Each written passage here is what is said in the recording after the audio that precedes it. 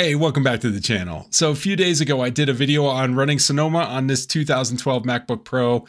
And in that video, I asked if anybody wanted me to do a tutorial on how to install it. So that's what this is. I have a older one that's running Ventura, so it's about time to update that anyway. So this is going to be how to install Sonoma on a 2012 MacBook Pro using OpenCore Legacy Patcher. Let's jump right into this. We are on the Mac desktop and the first thing we need to do is go out to the OpenCore Legacy Patcher site. I'll have a link down in the description if you want to see that. Once you're there, we're just going to click on the getting started and download and build the macOS installer. Now there's a whole set of instructions in this document and that's basically what we're going to be doing in this video. So if you want to go out there and see that instead of watching this video, that's totally fine.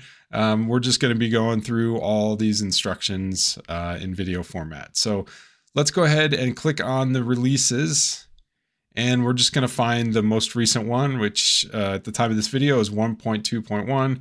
So we're going to scroll down a little bit. And what we want to download is the zip file. This package file is going to be grabbed by the installer itself. So we'll get the zip file and it should download and automatically unzip. If it doesn't unzip for you, just double click on it and it should extract it. So we'll give that a minute to download here.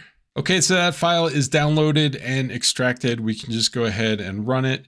It's probably going to ask us for our password here. We haven't opened this before, so we got to click open. So this is the OpenCore Legacy Patcher uh, main menu. And the first thing we need to do is create the Mac OS installer. So we're going to click on that and then click on to the download Mac OS installer. It's going to go and find all the available sources. And the source that we want is this Mac OS 14.1.2. That's the newest version of Sonoma. So we're going to go ahead and download that. All right, so now the download is done and we just have to wait for this validation step to take place. And then it should uh, prompt us for our password and we'll be able to continue on with this install. All right, so we're gonna put in the password.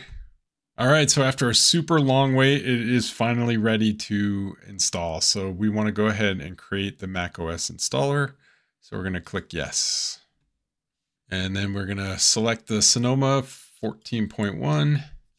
And then now we are just going to take our thumb drive and stick it into the computer. So hopefully it'll recognize that. Let's go ahead and search again. So that is the USB drive that we just put in. It's labeled install macOS Sonoma because obviously I've done this before. So we're going to go ahead and select that one. And uh, it's asking for sure we want to wipe it out. Go ahead and hit yes. And put in the password again.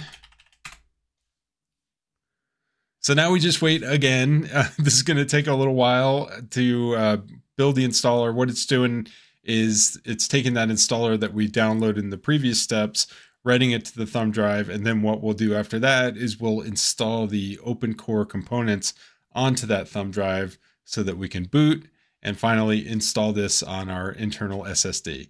So I'm going to let this run because it's going to take a little while and then uh, I'll come back and we'll continue on.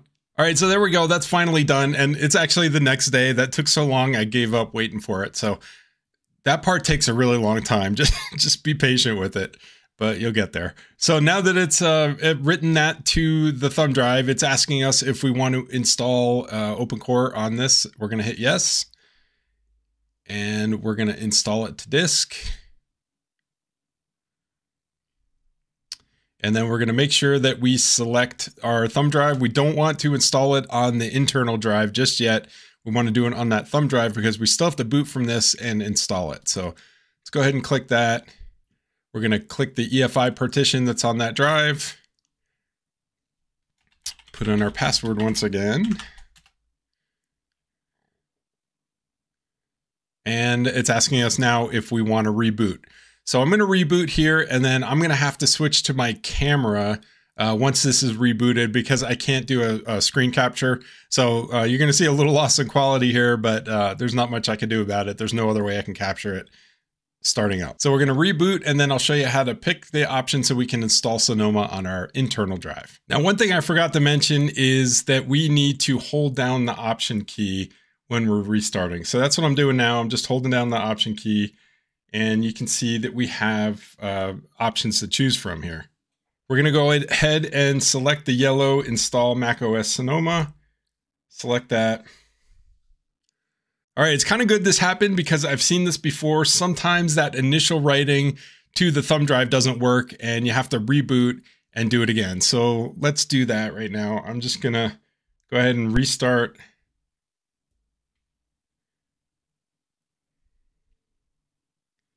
and we'll log back in. Okay, so we're back on the desktop. I'm just going to go ahead and move myself out of the way here for a second. And we're going to go to our downloads here. And then we're going to go into OpenCore Patcher again.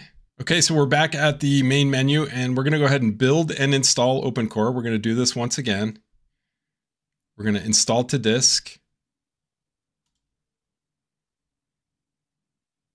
And then again, we're going to select our thumb drive here. And we're going to select the EFI. Put in our password again. Now it's really weird because I haven't seen this happen every time I install this. I'm going to ignore this for now.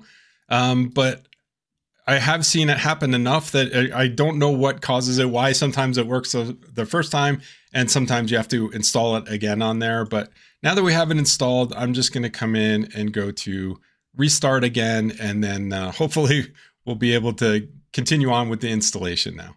Okay, again, holding down the option key. All right, this is looking better now. So actually what we need to do is we need to go over to the EFI boot and we're gonna select the option that has the OpenCore logo with the little yellow hard drive and we're gonna select this. Now, once we're on here, we're just gonna go over to install macOS Sonoma.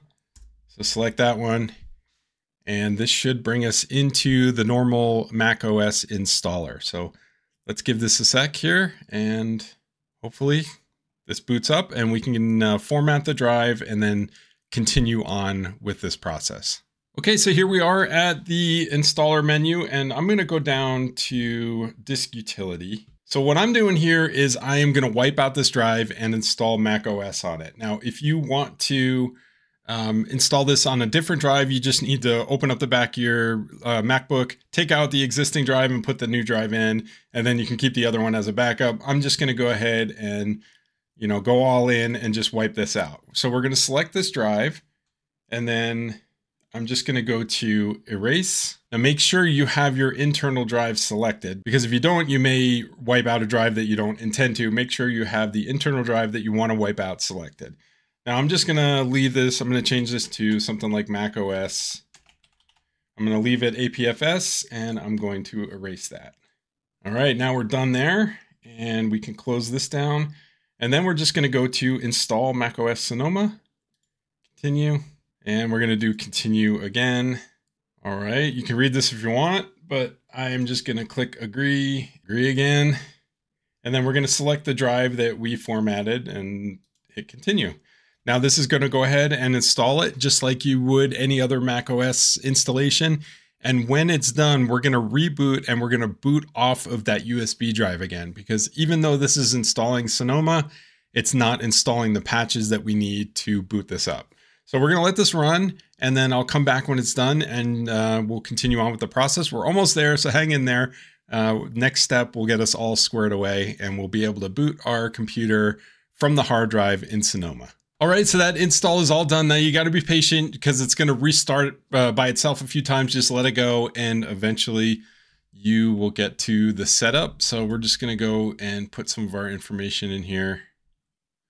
All right, now we're just going to wait a second. We are on the desktop, but we still have to install uh, OpenCore on the internal hard drive and also install the post install patches. So we can see this uh, we have this background item added for the OpenCore patcher. So it should pop up in a second. Yep. So here we, it says OpenCore Legacy Patcher has detected that you're booting from OpenCore USB stick or external drive. So we're going to go ahead and click OK here because this is what's going to allow us to install it on the internal drive. So it's building for us, but I'm going to cancel this. I'm going to return to the main menu so I went back here because I want to do some extra options and I'll talk about this in a second. If we go to settings, we can see this show open core boot picker. Now what this will do is it'll show a boot picker every time you restart your computer and you'll have to select it or wait for it to time out before it boots into Mac OS. It's kind of annoying. If you want to leave it there for troubleshooting, that's totally fine, but I usually take this off. That way it just boots into Sonoma just like it would on any other supported Mac. So we're going to go ahead and return, and now we're going to do the build and install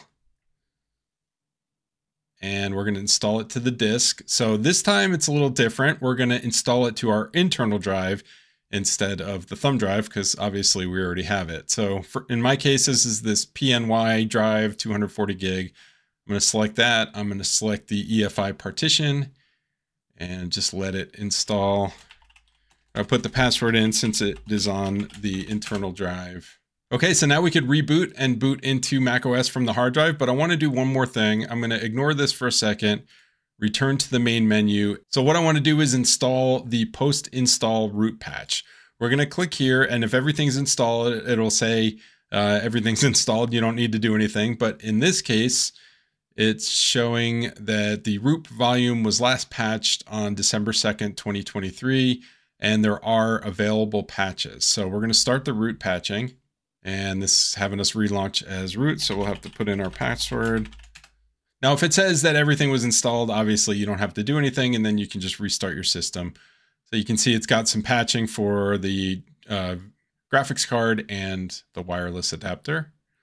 I did see so that some people were having trouble with their wireless adapter in Sonoma, so hopefully this will fix it. I personally didn't see any issues. Okay, so we are good to go. We're going to go ahead and reboot Yes, I'm sure. And what we're going to do is just take out our USB thumb drive because we will not need that to boot now because we've installed OpenCore on the EFI partition of the internal hard drive. So it should just boot right into macOS here. Okay, and here we are at the login menu. If uh, put in, or login screen, go ahead and put in my password.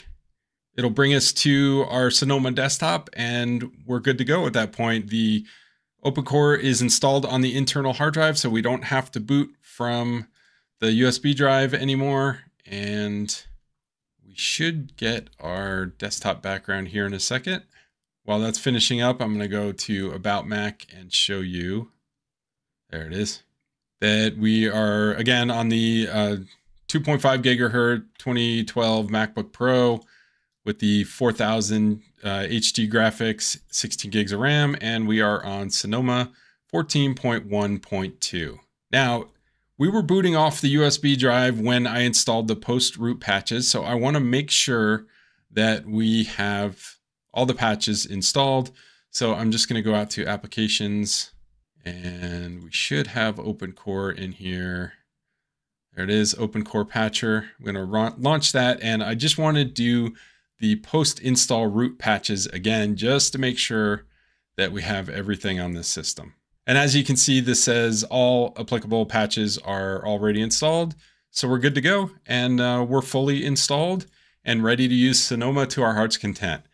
Hopefully you found this video useful or informative. Uh, I also have a 2015 MacBook Pro. I'm going to be doing a video on that, but this install process is exactly the same for that machine as well.